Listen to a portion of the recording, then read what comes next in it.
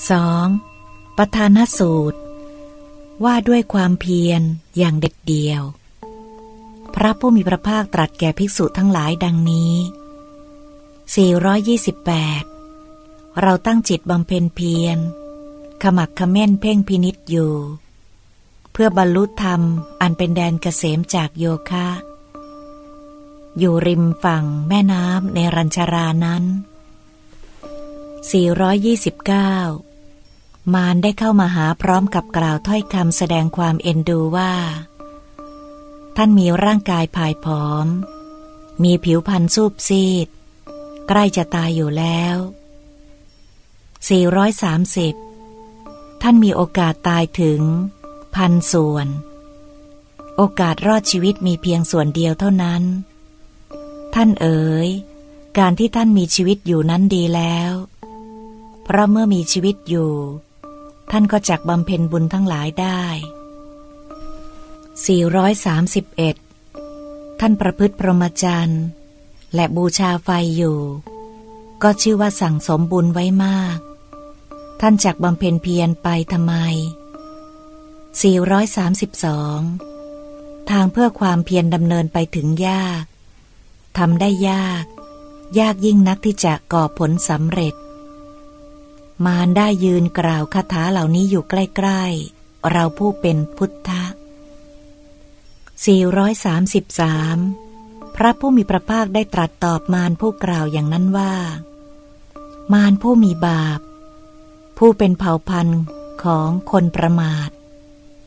ท่านมาที่นี่มีความประสงค์ใด 434 เราไม่มีความต้องการบุญแม้แต่น้อย ความจริงท่านผู้เป็นมาร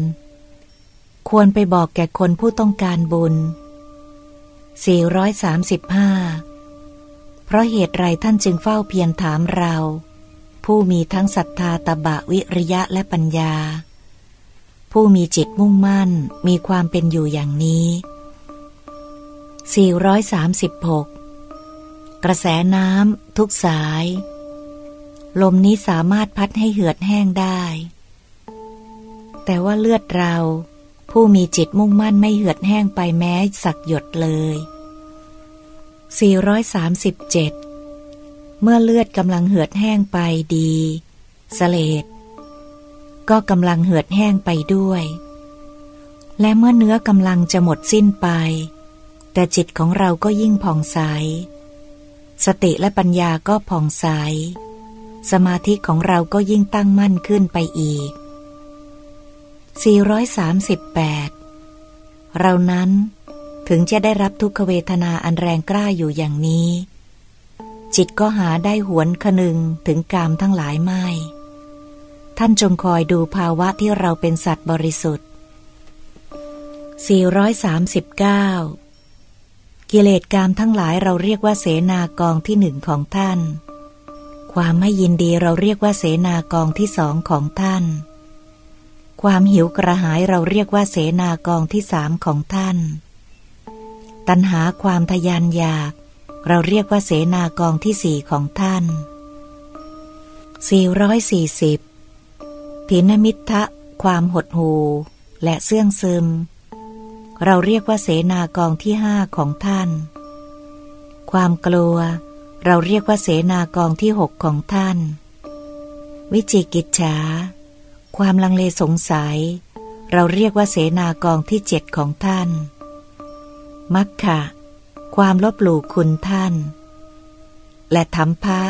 ความหัวดื้อ เราเรียกว่าเสนากองที่แปดของท่าน 441 ลาบความสารเสริญสักการะและยศที่ได้มาผิดผิด เราเรียกว่าเสนากองที่เก้าของท่าน การยกตนข่มขู่ผู้อื่น เราเรียกว่าเสนากองที่สิบของท่าน 442 มารเอ๋ย เสนาของท่านผู้มีธรรมดำนี้ มีปกติประหารสมณพราหมณ์ คนขลาดเอาชนะเสนานั้นไม่ได้ แต่คนกล้าเอาชนะเสนามาได้แล้วย่อมได้รับสุข 443 แม้เราก็รักษาหญ้ามุงกระต่ายไว้ หน้าติดเตียน ถ้าชีวิตของเราจะพ่ายแพ้ เราตายเสียในสงครามประเสริฐกว่า แพ้แล้วเป็นอยู่จะประเสริฐอะไร 444 สมณพราหมณ์บางพวกตกอยู่ในอำนาจเสนาของท่านแล้ว ย่อมไม่ปรากฏเกียรติคุณ และย่อมไม่รู้ทางที่เหล่าท่านผู้มีวัดดีดำเนินไปอยู่ 445 เราได้เห็นมารขี่ช้างเป็นพาหนะนำเสนาออกมาโดยรอบทิศ จึงเตรียมเผชิญหน้าเพื่อจะต่อสู้ โดยมั่นใจว่ามารอย่าหวังที่จะให้เราลุกจากที่ 446 ชาวโลกพร้อมทั้งเทวโลก ไม่สามารถเอาชนะเสนาของท่านนั้นได้ แต่เราจะใช้ปัญญาเป็นอาวุธทำลายเสนาท่านนั้นให้พินาศ เหมือนคนใช้ก้อนหินทุบภาชนะดิน ทั้งที่ยังไม่ได้เผา และที่เผาแล้วให้แตกไปฉะนั้น 447 เราจักเจริญสัมมา สังกัปปะให้เชี่ยวชาญ และตั้งสติไว้อย่างมั่นคงแล้ว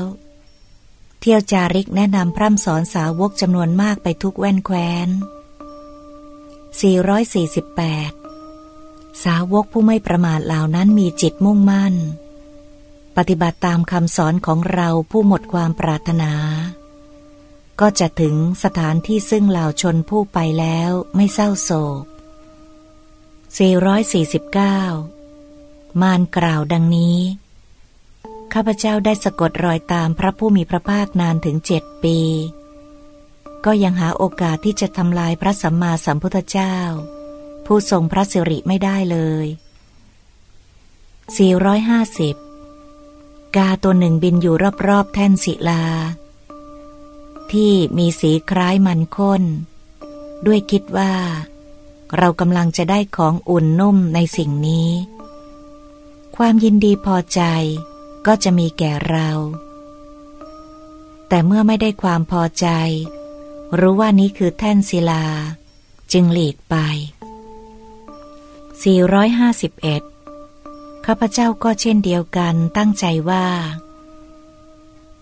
จะมารบกวนก่อความรำคาญพระไทย ให้พระสมณโคดมเบื่อเสด็จลุกหนีไป แต่ข้าพเจ้ากลับไม่ได้รับความยินยอมจากพระสัมมาสัมพุทธเจ้า เกิดความท้อแท้จึงหลีกไป 452 เมื่อมานนั้นกำลังเศร้าโศกมาก พินที่หนีบอยู่นั้นจึงตกลงจากรักแร้ลำดับนั้นมานั้นผู้เสียใจ ได้อันตรธานหายไปในที่นั้นเอง ประธานสูตรที่สองจบ